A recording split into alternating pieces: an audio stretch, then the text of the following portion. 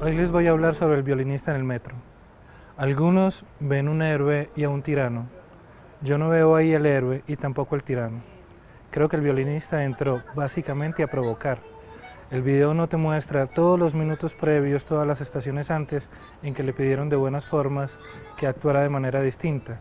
El metro hace cumplir unas normas, normas que todos conocemos y creo que son incluso parte del secreto de su éxito hasta estos días, en los 19 años de funcionamiento.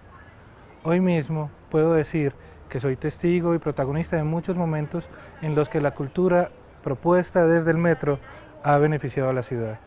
La cultura expresada en un concierto de bajo tierra en una estación o en el mayo pasado cuando hicimos 21 momentos en estaciones como Acevedo y San Antonio donde el arte se tomó el metro.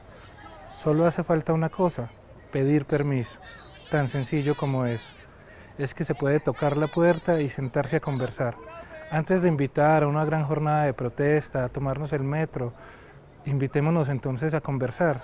Yo creo que la cultura metro también puede tener una segunda generación, simplemente es hablarla. Creo que el violinista en el metro estaba desafinando.